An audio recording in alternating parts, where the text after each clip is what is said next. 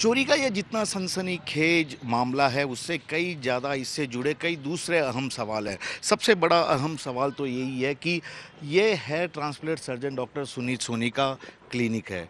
जयपुर के मशहूर डॉक्टर भी हैं ये, लेकिन उन्होंने आखिरकार ऐसे क्या कारण रहे थे कि तीन लोहे के बड़े बड़े बक्सों में भरकर चांदी की इन सिल्लियों को रखा और उसे भी तय खाने में ज़मीन में गाड़ कर रखा था?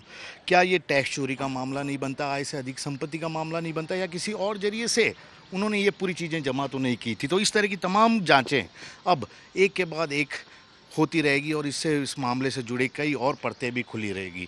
फ़िलहाल तो इतना ही है कि जब डॉक्टर सोनी ने खुद ने अपने ही हॉस्पिटल के तय खाने में एक बड़ी सुरंग बनाकर, खड्डा बनाकर उसे छुपाने की कोशिश की है।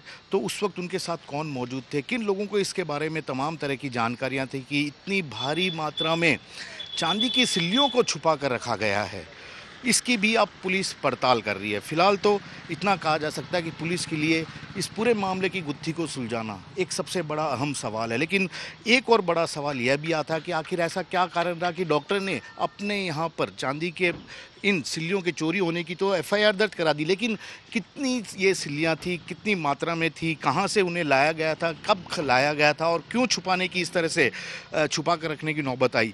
इस तरह के तमाम सवालों के जवाब फ़िलहाल तो ये डॉक्टर खुद भी पुलिस को नहीं दे पा रहे हैं।